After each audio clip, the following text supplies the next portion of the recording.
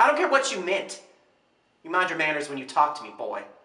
Yes, sir, William. Mr. William.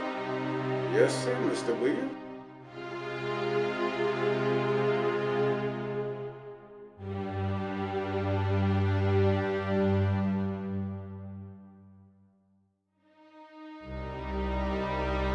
With all due respect, yeah, Miss O'Brien, if you think it's due, the people who own things that work for them get respect.